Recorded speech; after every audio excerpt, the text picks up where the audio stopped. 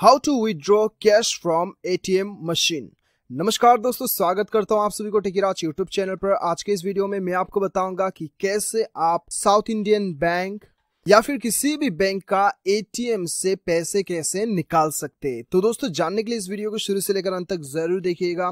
और यदि आपने मेरा अभी तक चैनल को सब्सक्राइब नहीं किया है तो चैनल को सब्सक्राइब करके उस बेल आइकन को ज़रूर दबाना ताकि मेरे हर वीडियो का अपडेट आप तक पहुँच पाए। तो दोस्तों, चलिए बिना देर के हुए शुरू करते हैं।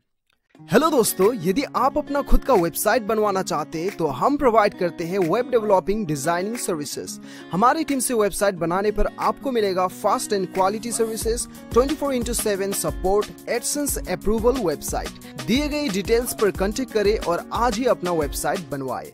थैंक यू तो दोस्तों, अभी हम आ चुके हैं यहाँ पे एटीएम मशीन पे, हम आ चुके हैं। और दोस्तों एटीएम से पैसे निकालने के लिए आपको रिक्वायरमेंट होगा सिर्फ़ और सिर्फ़ एटीएम कार्ड का और आपका पिन कोड का, ठीक है? ये दोनों होने के बाद आप जो है अपना, आप किसी भी एटीएम में जाके पैसे निकाल सकते हो, ठीक है? तो अभी हम एटीएम के पास आ चुके हैं और यहाँ पे दोस्तों, जैसे कि आप देख सकते हो, मैं एटीएम का ओवरव्यू दे देता हूँ। ज़ाहिर सी बात है कि आपने पहले कभी एटीएम से पैसे नहीं निकाला, इसलिए आप ये वीडियो देख रहे हो। तो दोस्तों, मैं आपको बेसिक बातें पहले बता देता हूँ। जैसे कि आप यहाँ पे देख पा रहे हो दोस्तों, यहाँ पे ये है आपका स्क्रीन एटीएम का स्क्रीन और यहाँ पे चार बटन है और यहाँ पे चार बटन है, ठीक है? और उसके बाद दोस्तों, यहाँ पे ये है आपका नंबर डिजिट नंबर ठीक है? वन से लेकर नाइन एन ज़ीरो आपको यहाँ पे मिलेगा। और यहाँ पे कुछ बटन से तो जिसका उपयोग तो नहीं करने से भी हो जाता है निकालने वक्त पे तो उसके बाद यहाँ से आपका पैसे निकलता है, यहाँ पे आपको एटीएम कार्ड घुसाना है और यहाँ से आपका रिसिप्ट निकलता है, ठीक है? तो दोस्तों, हर एटीएम मशीन कुछ इस प्रकार का ही आपको दिखाई देगा। उसके बाद आपको क्या करना है दोस्तों, सबसे पहले तो आपको यहाँ पे अपना एटीएम कार्ड घुसाना है, ठीक है? दोस्तों एटीएम कार्ड को डेबिट कार्ड भी कहता है, ये दोनों सेम ही होता है, ठीक है? तो आपको यहाँ पे घुसाना है। आपका फिर एटीएम कार्ड में डेबिट कार्ड लिखा होगा तो आप कंफ्यूज मत होना ATM card, debit card same ही रहता है। और उसके बाद दोस्तों, ध्यान रखना कि यहाँ पे सिर्फ़ एटीएम कार्ड ही घुसाना एटीएम कार्ड, डेबिट कार्ड जो भी है, ठीक है? यहाँ पे मेट्रो कार्ड मत घुसाना, मेट्रो कार्ड से पैसे नहीं निकलता है, ठीक है? तो दोस्तों, उसके बाद आपको क्या करना होगा? वो एटीएम कार्ड घुसाइए, उसके बाद में वो निकल जाएगा, उसके बाद में जैसे आप घुसा के निकालेंगे, उसके बाद आपको यहाँ पे बताया जाएगा कि आपको किस टाइप का आपको सर्विस चाहिए, ठीक है? यहाँ पे आप नया पिन आप जनरेट कर सकते हो आईएमटी है, और यहाँ पे बैंकिंग सर्विस है स्पेशल सर्विस है रजिस्ट्रेशन है फीडबैक्स है, काफ़ी सारा कुछ है यहाँ पे।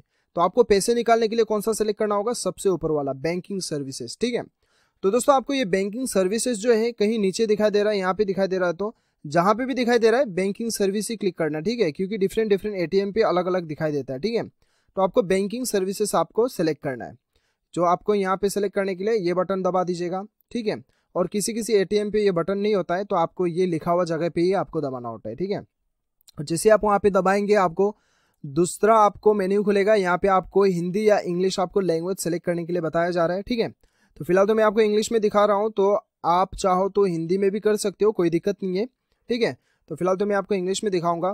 तो यहाँ पे आप जैसे इंग्लिश सेलेक्ट करते हो तो ये बटन को दबाना होगा आपको, उसके बाद आपको यहाँ पे बताया जाएगा कि प्लीज़ एंटर योर पिन यानी कि आपका एटीएम या फिर डेबिट कार्ड का जो भी पिन है, वो पिन आपको यहाँ पे भरना होगा। ये जो आपको नंबर दिखाई दे रहा है वन से लेकर नाइन और ज़ीरो आपको यहाँ पे आपका पिन भरना होगा। जैसे आप पिन भर देते हो, आपको यहाँ पे ट्रांजेक्शन टाइप आपको सेलेक्ट करना होगा। आप पैसे ट्रांसफ़र करना चाहते हो या फिर बैलेंस इंक्वायरी करना है, या फिर मिनी स्टेटमेंट देखना है, या फिर आपको फास्ट कैश चाहिए विड्रॉल या फिर कैश डिपॉजिट, या फिर पिन चेंज। तो ज़ाहिर सी बात है, आप विड्रॉल करना चाहेंगे तो आपको ये विड्रॉल दिखाई दे रहा है। दोस्तों, ज़रूरी नहीं है कि ये विड्रॉल यहाँ पे दिखाई दे रहा है तो यहीं पे दिखाई देगा। यहाँ पे भी दिखाई दे रहा होगा, यहाँ पे भी दिखाई दे रहा होगा। लेकिन आपको ध्यान रखना है कि विड्रॉल पे ही आपको क्लिक करना है, ठीक है? तो आपको ये वाला बटन पे क्लिक करना है, जैसे आप वहाँ पे क्लिक करोगे कैश विड्रॉल नाम से आपको रहेगा और यहाँ पे आप सेविंग अकाउंट से निकालना चाहते हैं या फिर आपको एटीएम कार्ड आप करेंट अकाउंट से निकालना चाहते हैं, वो आपको सेलेक्ट करना होगा, ठीक है? तो दोस्तों, यहाँ पे ज़्यादातर रहता है सेविंग अकाउंट ही रहता है, ठीक है? करेंट अकाउंट तो बिज़नेस रहता है। यदि आपने अकाउंट खुलवाया है और आपको पता नहीं है करेंट है या सेविंग है तो डेफिनेटली रहेगा सेविंग अकाउंट ही रहेगा, ठीक है? क्योंकि करेंट अकाउंट जो है, लोगों का प्रीफरेंस से ही खुलता है। वो बैंक आपको इंडिविजुअल अकाउंट खोलने वक्त पर कभी भी आपको करंट अकाउंट नहीं खोल के देगा, ठीक है? ये बिज़नेस अकाउंट रहता है। तो दोस्तों, उसके बाद में आपको सेविंग सेलेक्ट करना है। यहाँ पे क्लिक कर लीजिए, उसके बाद में आपको यहाँ पे पैसे भरना है, ठीक है? तो दोस्तों, पैसे यहाँ पे आपको भरना है। जितना भी पैसे निकालना है, उतना पैसे आप भरिए। लेकिन ध्यान रखिए कि आपका अकाउंट में कितना पैसे है, उससे ज़्यादा आपको नहीं निकालना है, क्योंकि उतना निकलेगा भी नहीं, ठीक है? जैसे कि आपका अकाउंट में दस हज़ार रुपया है और आप एक लाख निकालने के लिए कोशिश करेंगे तो वो नहीं होगा। ऐसा मत सोचिए, वो बिल्कुल भी नहीं होगा। आपके पास एटीएम में आपका अकाउंट में दस हज़ार है तो दस हज़ार तक ही निकलेगा या फिर दस हज़ार से कम निकलेगा, उससे ज़्यादा नहीं निकलेगा, ठीक है? तो दोस्तों, इसीलिए और एटीएम का कुछ एटीएम का लिमिट रहता है। आप दस हज़ार से ज़्यादा नहीं निकाल सकते, बीस हज़ार से ज़्यादा नहीं निकाल सकते, ऐसा लिमिट रहता है, ठीक है? यानी कि ये जगह जो होता है, वो छोटा होता है, एक ही बार में ज़्यादा पैसे नहीं निकाल सकता है। तो आपके अकाउंट में एक लाख हो, दो लाख भी हो, आप ज़्यादा एक एक ही बार में एक लाख नहीं निकाल सकते, ठीक है? तो इसका लिमिट रहता है दस हज़ार, बीस हज़ार, हर एटीएम का अलग अलग लिमिट रहता है इसका साइज़ का हिसाब में, ठीक है? तो दोस्तों, अभी आपको यहाँ पे पैसे सेलेक्ट करना होगा, कितना आपको भरना है वो भर दीजिए, उसके बाद आपको कन्फर्म पे सेलेक्ट करना होगा, ठीक है?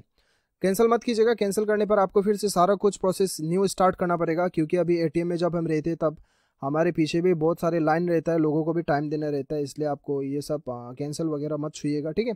आप सिर्फ़ कन्फर्म पे क्लिक कर लीजिए कन्फर्म पे क्लिक करने के बाद अभी फाइनली जिस घड़ी का हमें इंतज़ार था, वो पहुँच गया है दोस्तों। अभी please wait your transaction is processing यानी कि आपका पैसे जो है वो अभी एटीएम में, जो जगह में बैठा हुआ है, पैसा वो ऊपर से आएगा, सारा कुछ मशीन घूमते घूमते आएगा, यहाँ से निकल जाएगा पैसे, ठीक है? जितना आपने एंटर किया था, वो निकल जाएगा यहाँ से। और निकालने के बाद जो है दोस्तों, पैसे निकाल लीजिएगा और पैसे निकाल के आपके पर्स में डाल लीजिए।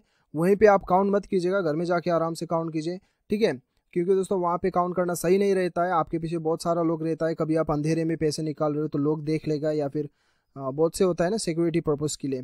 इसलिए वहाँ पे कभी भी पैसे मत गिनिए घर में जाके आराम से गिनिए। और दोस्तों कभी कभी जो है कि पैसे फटा हुआ निकल गया या फिर पैसे जो है आ, मतलब सही ढंग का पैसे नहीं निकला है पैसे फटा हुआ निकला है तो आपको क्या करना होगा? वो पैसे इमीडिएट जाके आपको आपका ब्रांच को आपको बता देना होगा ठीक है? तो जहाँ पे आपने आपका मेन ब्रांच रहेगा वहाँ में आपको जाके बता देना होगा आपको वो पैसे आपको रिटर्न करके दूसरे रिप्लेस करवा देता है ठीक है? तो दोस्तों इस प्रकार से जो है आप जो है किसी भी बैंक में जाके अपना कैश जो है, आप एटीएम डेबिट कार्ड से आप कैश निकाल सकते हो इस प्रकार से। दोस्तों, ये तो मैंने स्क्रीन शॉट लेके मैंने आपको एटीएम का बेसिक्स बातें बताया, ठीक है? यहाँ से आपको कम से कम सेवेंटी परसेंट मदद मिल गया आपको, ठीक है? अभी थर्टी परसेंट आपका खुद का दिमाग भी लगाना है। क्योंकि दोस्तों, अभी हर एटीएम में जाके तो मैं आपको नहीं बता पाऊँगा, है कि नहीं? तो इसलिए मैंने स्क्रीन मिला के, बना के मैंने आपको बेसिक्स बातें बेसिक्स से भी ज़्यादा बातें मैंने आपको बता दिया है। अभी आपके ऊपर है, आप जाके कैसे निकालोगे? ठीक है, मैंने जो प्रोसेस बताया, इस प्रोसेस को फॉलो कीजिए, आप किसी भी एटीएम में जाके पैसे निकाल पाओगे। तो दोस्तों, फ़िलहाल को वीडियो में तो इतना ही। यदि आपको वीडियो पसंद आया हो तो वीडियो को लाइक ज़रूर कीजिएगा और चैनल को सब्सक्राइब कीजिएगा। मिलते अगले वीडियो में। अभी के लिए इतना ही। Till then bye bye take care